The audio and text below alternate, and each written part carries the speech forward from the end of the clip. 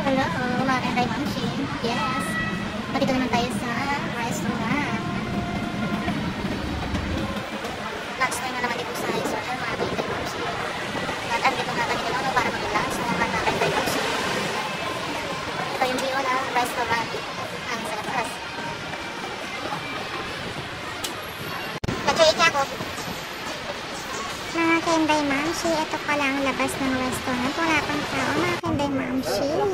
At yun nga, mga kanday mamshi, ayun po ang aming first dish, mga kanday mamshi. Ang paborito kong cauliflower, mga kanday mamshi. At syempre, nag-order ako ng chicken wings. Baka sakaling tubuhan ako ng pakpak. Makarating ako ng Pilipinas. Makalipin, mga kanday mamshi. Yan nga mga kanday mamshi, nag-start na kaming kumain mga kanday mamshi. At pauwi na kami mga kanday mamshi, tapos na kami mag-lunch. Thank you for watching.